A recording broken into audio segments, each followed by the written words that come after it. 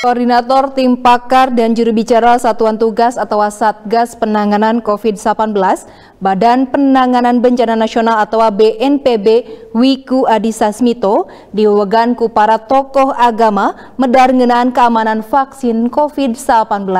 Lian itu pihak nage boga karep ngayakinkan masyarakat sangkan sayaga nyorang vaksinasi COVID-19.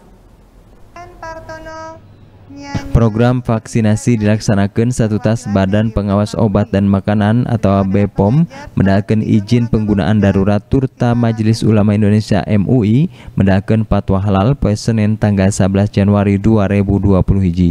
Vaksinasi penting dilakukan pi kenektek mata rantai sumberna COVID-19 turta mere jaminan penang tayungan kesehatan.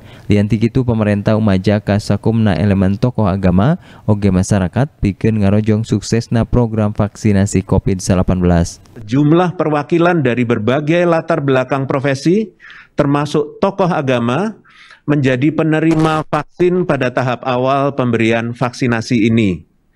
Vaksinasi penting dilakukan untuk memutus mata rantai penularan COVID-19 dan memberikan jaminan perlindungan kesehatan kepada kita semuanya, serta keselamatan keamanan bagi masyarakat Indonesia. itu toko agama turta toko masyarakat anu ngaluuhan saluran YouTube BNPB mendar papagana anu kacida pentingna kasakumna rahayat Indonesia di nararaga ngarojong suksesna program vaksinasi ukituna bisa ngajaga diri ngajaga kulawarga turta ngajaga negara sampai saat ini saya merasa sehat tidak ada efek samping apa pun dan juga merasa lebih damai menjalani hidup ini dan lebih bahagia.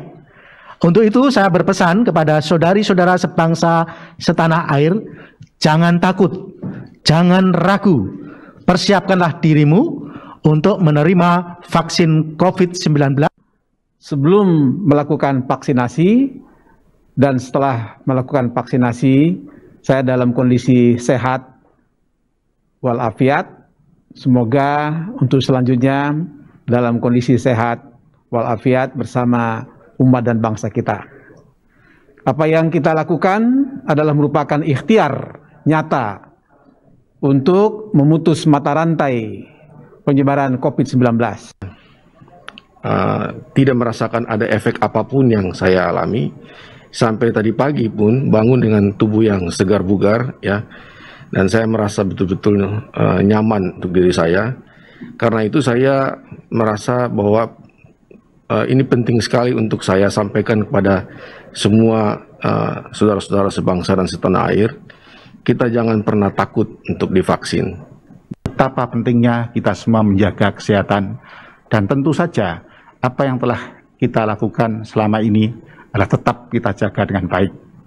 Tentu kaitan dengan vaksin, kita semua jangan takut karena vaksin ini aman. Kami menyadari bahwa ini tidak berdampak apa-apa selama ini sampai sekarang. Ajak kepada seluruh masyarakat, rakyat, umat se-Indonesia nanti untuk melakukan vaksinasi. Kami yang telah ikut dalam vaksinasi merasakan sesuatu yang lebih yakin, tidak merasakan rasa yang aneh-aneh. Tim Liputan, Bandung TV.